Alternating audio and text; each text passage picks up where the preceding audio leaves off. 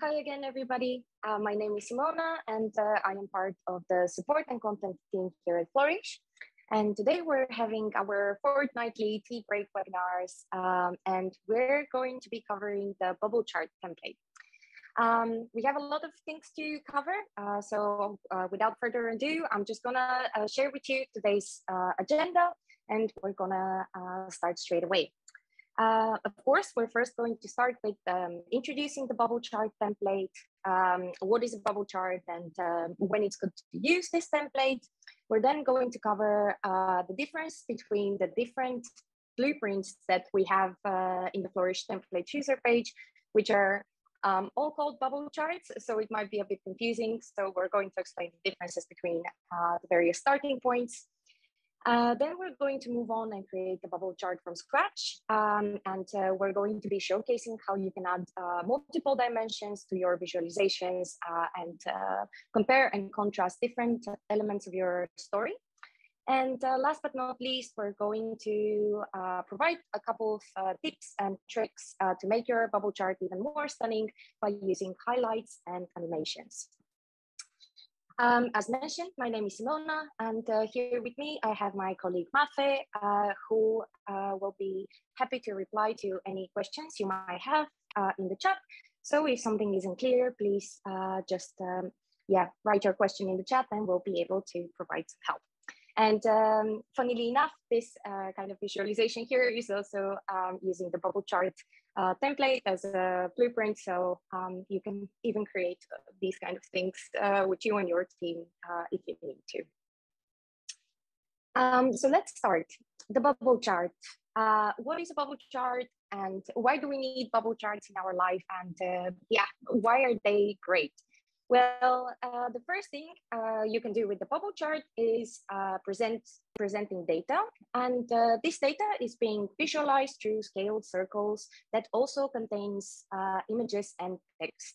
Now, um, one of the main uh, reasons why we decided to create a new bubble chart template, template in general is because we, are, we were often asked uh, from people and from Flourish users, oh, can I add images to my uh, circles in the hierarchy template, for example, or uh, how can I change my labels and all these kind of little customization settings and that didn't all exist within a single template. Um, so where this is where um, the bubble chart template is coming uh, in the game. Basically, with the bubble chart, you can, uh, oops, sorry, you can customize um, your uh, colors, you can customize the size of the bubbles, uh, create a very stunning data set using those circles. And last but not least, you can also position your bubbles uh, on an axis. Um, so your users and uh, your viewers can gain even more insights from your data.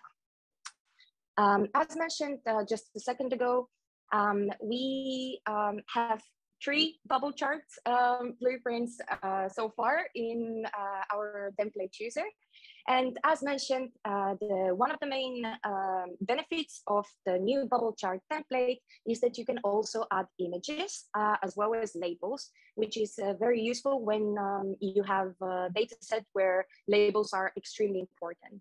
And apart from the packed circles and the bubble chart and the bubble chart template, we also have the survey template that kind of works in the in a similar way. You can still visualize data uh, with circles, but all these kind of different templates have their own uh, perks and their own, uh, well, maybe weaknesses, uh, I would say. So it's good for you to know um, kind of um, what each template does. And if something doesn't uh, really work the way you expected, you might actually use the wrong bubble chart blueprint.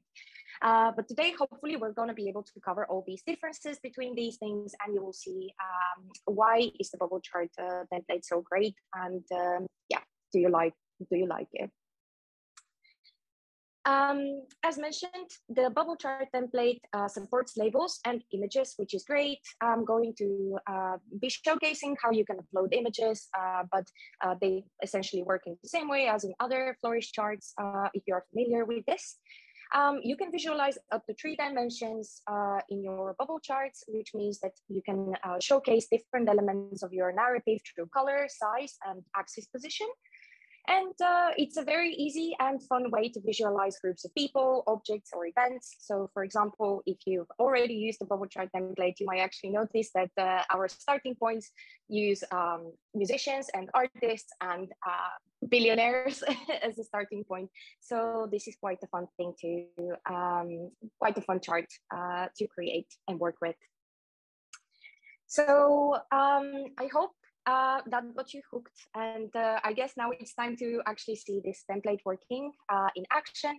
So we're going to create a bubble chart. Uh, before we just uh, we, we get started, I just wanted to showcase um, how many, uh, how different your bubble charts can look like. We have a couple of examples and today we're actually going to use this data set. So we're gonna um, see this into more detail. But here, for example, we have the 10 most downloaded apps for the last year and this is positioned on an axis. Um, whereas the 20 richest men in the world, for example, which is another blueprint uh, in our template chooser, um, oh, you can see that the circles are not actually positioned in any particular order. Uh, on the contrary, they're being clustered in the center. So you can always choose between um, any of those two starting points. Um, but let me just actually show you um, how you can create your own bubble chart. First of all, we're going to go to the template chooser. Um, as with any template, you can just uh, start a new visualization by going to the template chooser. And by scrolling, you can already see that uh, one of our bubble charts um, is already here in the scatter, but this is not what we're going for today. Instead, we're going for the bubble chart template. And as you can see here, we have two starting points. Uh, one of them is the default, or as mentioned, uh, where the circles are being clustered uh, in the center and the other one is on an x-axis. Um, the axis positioning is not necessary. Uh, it's completely optional. So if you don't think you would need it, you can just um, ignore the starting point. Or alternatively, uh, you can start with uh, this blueprint, for example, on an x-axis. And later on, maybe you decide, oh, actually, I don't want to position them on an x-axis. I like them uh, better in the center. You can easily switch uh, from this first setting here, the alignment of bubbles. You don't have to start a new visualization from scratch. So I can easily switch between my center uh, and uh, left right, which is uh, very handy. And um, as mentioned, uh, basically here we you can see that we have uh, the 20 richest people, men for last year. Uh, and once we position them on an axis, it actually makes a little bit more sense depending on how do we how do we rearrange them on an axis. Whereas with this um, central alignment, you can actually maybe compare them a, a, little bit more easily when it comes to uh, size, because obviously with the circles, it might be a little bit more complicated to kind of get the point of which bubble is bigger, especially if uh, they're quite a similar size. But let's go to the data tab and we're going uh, to uh, think about the preview tab uh, once I upload my uh, new data set. Um, as with any single template, the bubble chart uh, contains uh, already imported data, which should be your guide on uh, before you start creating any visualization. You can just take a look at the data tab and see uh, the format and uh, how the data is structured here. Uh, just to make sure that once you import anything in Flourish, um, everything's going to work as expected. So as we can see here, basically each of our um, input for each circle is being positioned in a new row, uh, whereas our uh, columns are playing different roles um, for these uh, column bindings here. So um, the first thing you should be um, able to notice is that the label is uh, a required field. Um, and the label in this case, for example, is our um, is the billionaire's names. And of course, uh, if I try to delete this column, for example, it's actually going to tell me that this column selection is required and it wouldn't allow me to do, uh, to do this. In addition, we have the color by column. Um, good to mention that all these columns from uh, here or uh, here onward are completely optional. So for example, if you uh, don't have a column to color by, they might all be colored within the same color, as you can see here in the little preview window. Um, if you don't have um, a column to size by, uh, in this case, we're um, sizing by their net worth um, you can always uh, get uh, rid of this uh, column binding and you will see that now all my bubbles are actually the same size. And as mentioned, uh, the axis values is a completely um, optional column as well. So if you just want them uh, positioned in the circle in not a particular order or anything like this, you can just delete this column. And uh, last but not least, we have the image column. And as you can see here, we have loaded our images um, by heading to an empty cell, uh, clicking, right clicking on um, anywhere uh, we would like it, to, we would like our image to be uploaded. And here we have, uh, at the bottom, we have upload file. Um, so once, if I click on this, uh, that's gonna bring me to my local um, computer folders and I can just choose a JPEG or a PNG file from there. Um, alternatively, I can uh, always just paste a hyperlink from the internet as long as the image uh, is not behind a paywall or anything like this, and uh, it should be working as normal. Um, so these are the uh, basic column bindings of this template. Uh, unlike other more complicated templates uh, in Flourish, this one has only one data sheet, so you don't have to worry about anything else. And um, we can just get started and create our own new visualization. Um, from here, um, in order to make sure that everything is working as expected, I'm just gonna click uh, clear sheet. And now my clear sheet, my sheet is completely uh, clean. Then I'm going to upload my data and I'm going to uh, select my data set, which uh, consists of uh, the costliest disasters uh, in the last 40 years worldwide. I'm gonna click import. And as you can see here, we've already have 123 rows uploaded. Now, if we look back at the preview tab, it kind of looks like a lottery uh, or something like this. It's a bit complicated um, and messy, but this is because we still have column uh, bound here, which are obviously not the right columns. So in order for my visualization to work as normal, I'm actually going to uh, change this label here to my column C, which is uh, the name of the uh, event uh, occurring then I would like to color by uh, by uh, disaster type, whether this was a man-made uh, disaster or a natural disaster instead, such as uh, earthquake or uh, tropical cyclone, etc. So I'm just gonna color by column E, and I'm going to uh, size by the cost of these disasters and the damage costs, which are in billion dollars, uh, specified in column A. And last but not least, my column values are going to be, uh, my axis values are going to be the year of the incident. So I would like them uh, positioned chronologically on an axis, starting with the, uh, with the uh, in 1980 or the first year in my data set and finishing with 2021. So I'm just gonna put my uh, axis values to the column F. Uh, I don't have an image for this one, so I'm just going to leave this column blank. And in my pop-up, um, if we would like this, this info for pop-up setting is a very generic setting, which you can uh, find in uh, most uh, Flourish templates. But here you can bind an additional column that hasn't been uh, specified anywhere else uh, in your visualization. So you can include this information into the pop-up. So for example, I can include my fatalities number into uh, the info for pop-ups.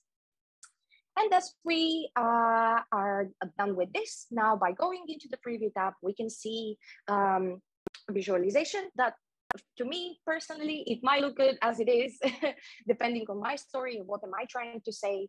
Uh, but of course, um, I actually mentioned that I want them positioned uh, in chronological order, so I can just position them on an axis and uh, do this by from left to right. And as you can see here, this immediately uh, might actually tell us uh, a different story, which is that uh, one of the uh, disasters uh, occurring in the world uh, that cost the most are actually were actually happening uh, in the past in the last um, 20 or um, 10 years or so, um, these disasters are not so costly. And this may bring us to, um, you know, that might be the main point of our narrative, etc., um, etc. Et we can create a story with this. Uh, it all depends on your data set and what story are you trying to tell. But having those two options, central versus on an axis, is a very handy thing to do. In addition, as you can see here, we have some basic elements uh, of Flourish, such as uh, um, categorical legend, uh, size legend, and uh, this little um, axis positioning that basically uh, shows us what are we um, positioning by on an axis. Um, good thing to mention uh, about this template now are actually two things. So if we go back to the data tab, um, at the moment, uh, we have a, category to co a column to color by, um, but um, at the moment, I chose a column containing categorical data. So this doesn't contain any numbers. Uh, however, even, um, even if I actually decide to color by any uh, numerical column, uh, at the moment, uh, the bubble chart template will assign a different color uh, for each different number. So let me, maybe I can just showcase that. If I actually color by ear, you will see now uh, the bubble chart at the moment only has a categorical legend, meaning that uh, the first year uh, and the second year are not actually in a uh, colored order. So that's a good thing to keep in mind. And of course, if you want to color by numbers, you can of course uh, do this, but you might be um, uh, you might benefit from using the custom override setting, uh, which I'm going to be showcasing in a second, uh, in order to create like a more kind of uh, ombre effect for your legend. I'm going to switch back to uh, my column E here. And another thing that I just wanted to mention in terms of the axis values, um, as mentioned, this template is uh, very, very new. So we're still um, uh, focusing on uh, improving it and making it uh, even more accessible and uh, yeah, useful for everybody. But one good thing, one thing to keep in mind at the moment is that if you would like to use any date and time formats, uh, for the time being, we can only, uh, this template can only support the year, uh, which is being fixed and should be, um, and like using full date um, should be possible in uh, the very, very near future. But for example, if you would like to create the bubble chart uh, today, this afternoon, or tomorrow morning, and uh, your uh, visualization doesn't work as expected, uh, that might be the case. Um, additionally, if you would like to use uh, network, for example, and you use some symbols, that might also be a, a little bit of an issue, but uh, we're all aware of these um, little things that um, might break the visualization and we're gonna fix them, uh, yeah, very, very quickly. So one thing to keep in mind, if you uh, desperately need to create a bubble chart now immediately. Um, but yeah, moving on, uh, let me just uh, see quickly the chat because I feel that it's um,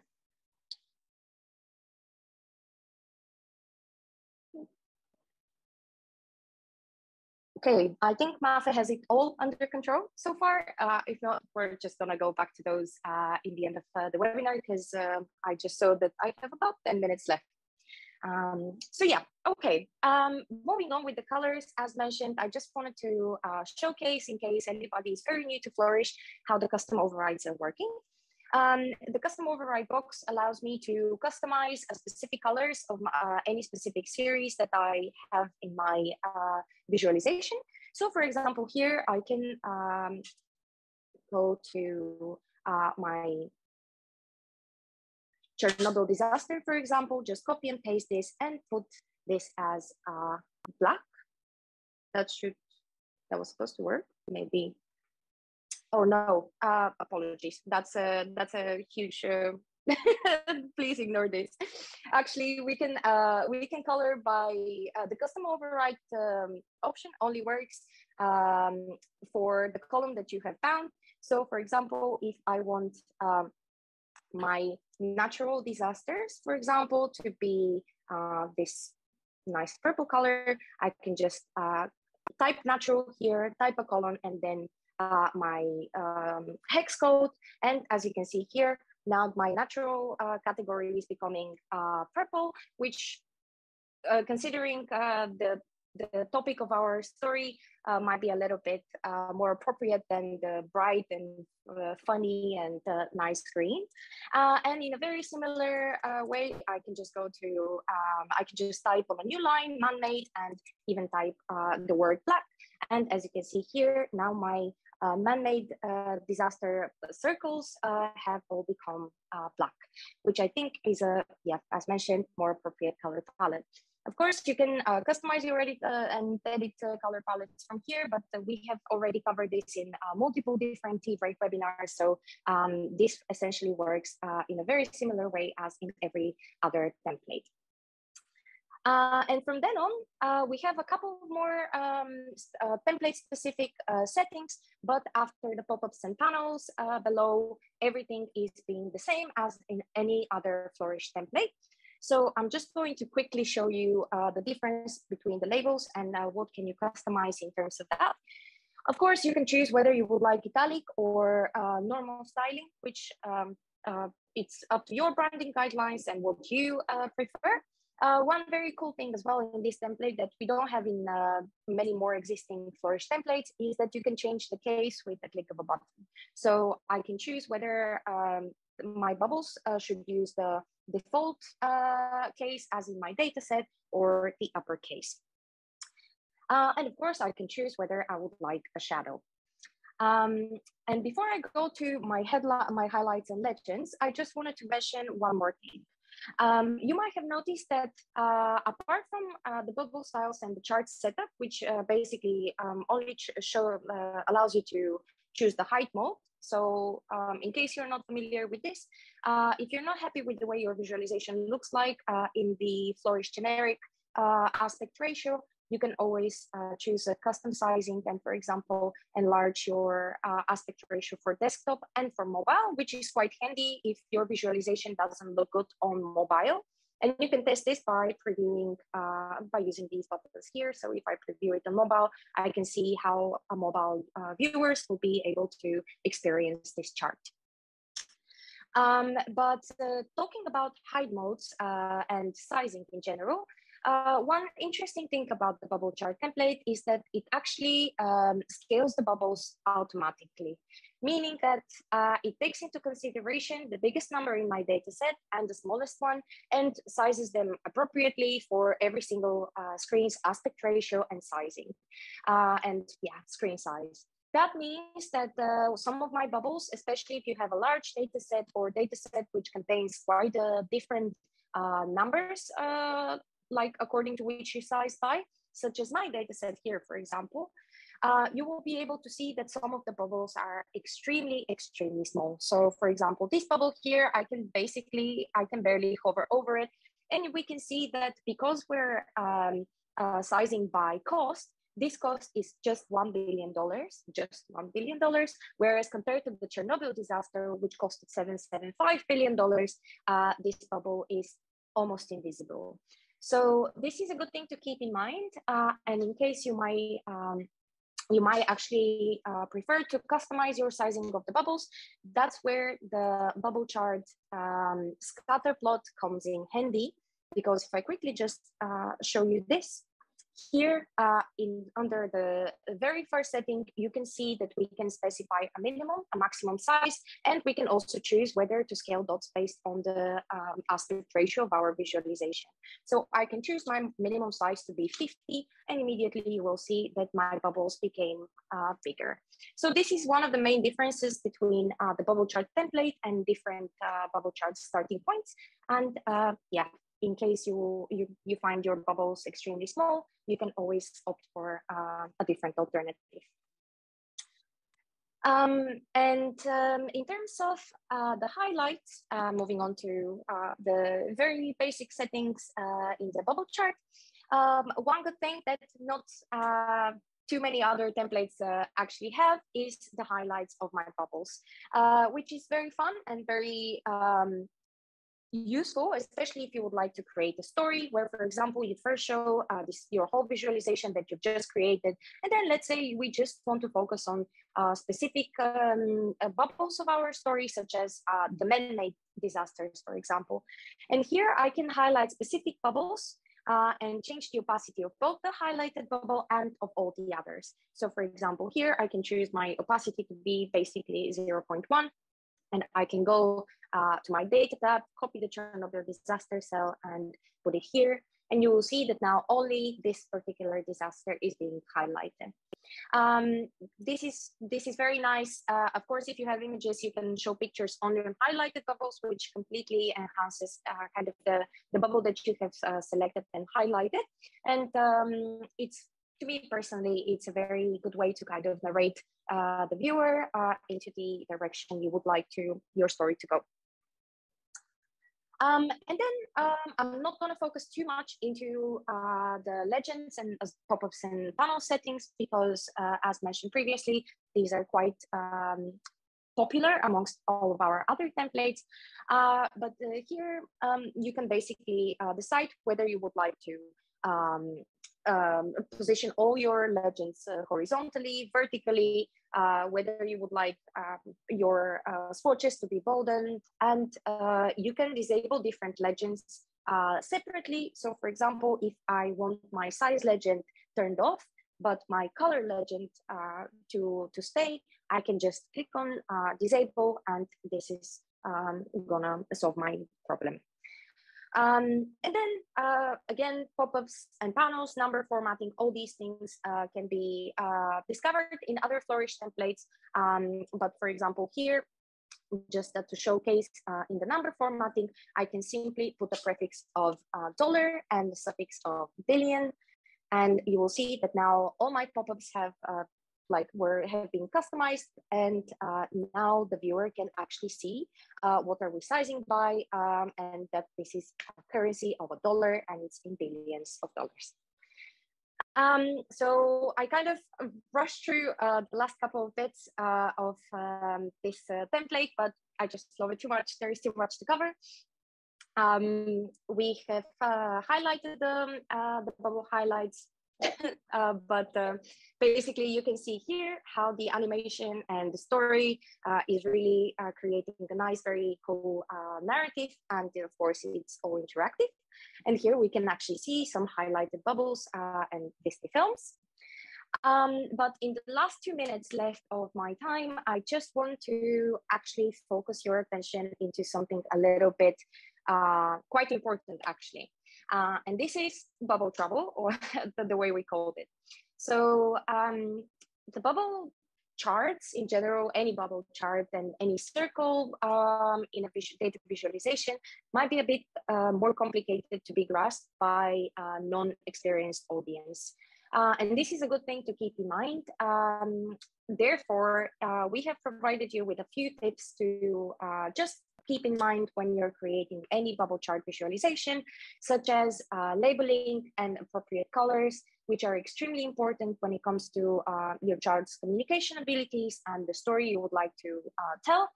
Uh, in addition, as showcased, you can uh, tell so much by your legends uh, by using color swatches, uh, by uh, coloring your uh, visualization appropriately, etc. Um, and uh, yeah, by coloring, uh, by category coloring your visualization, you're basically um, showcasing one dimension without overcrowding your chart. And talking about overcrowding, another very important bit, especially for the bubble charts, is the pop-ups, um, which are extremely useful and important when it comes to uh, displaying the actual accurate size of each bubble. Because as mentioned, when it comes to uh, some particular bubbles that are having very little difference between them uh, in terms of size, it might be actually very complicated for the human eye to distinguish between them uh, in the same way that we would do with a bar chart, for example. So um, that was uh, everything in terms of the bubble chart. I am hoping that it's okay for me to overrun a little bit, so maybe we can stay and answer some questions you might have. Um, but before we uh, do this, uh, I just wanted to say that we this um, uh, tea break webinar is of course going to be uh, recorded and uh, posted on YouTube. So you can always watch it back if you would like to. Then we have some resources here that I could share um, and uh, some help docs that might be useful when it comes to the bubble chart template. And um, as always, we would love to see you on our next webinar, which is going to be on the 29th of March, where uh, we're going to be uh, covering the very important topic of making your data visualization projects more accessible. So uh, please feel free to register and join our webinar. It's going to be on the same time, 3 p.m. UK time. And um, yeah, we would love to see you there.